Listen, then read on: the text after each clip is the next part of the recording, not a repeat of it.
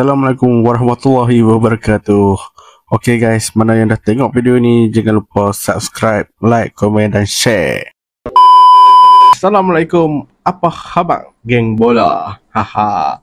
Macam biasa ha, Kali ni kita terbang jauh sikit ha, Dari Al-Osta ke Korea Selatan Dikabarkan tonggak pertahanan tengah FC Seoul Osmar Barba yang berusia 35 tahun untuk tahun ni dikaitkan dengan perpindahan dia ke pasukan Kedah. FC Seoul tak menyambung kontrak Osman Barba ni setelah dia berkhidmat selama 10 tahun dengan FC Seoul. Dan dipahamkan juga Osman Barba ni berminat untuk bermain di Liga Malaysia. Destinasi utama dia semestinya Kedah Darul Aman FC. Sebab apa? Sebab Kedah Darul Aman FC pernah bertemu dengan FC Seoul masa dalam kejohanan AFC dulu. Berita ni pun dah menular. Ha, kata apa dah viral dah dekat media-media di Korea ni.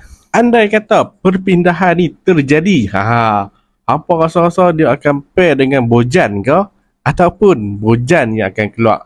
Semuanya mesti menjadi tanda tanya. Haha pakat-pakatlah kita berteka-teki. Tapi untuk status Bojan buat masa sekarang masih lagi tak ada kata putus sama ada Bojan masih stay ataupun meninggalkan pasukan Kedah untuk musim depan. Tapi macam biasalah, ha benda ni semuanya rumus, kabar-kabar angin. Ha, sama ada betul ataupun tak betul kita tunggulah kenyataan rasmi. Ha. Yang penting apa mau relax lah.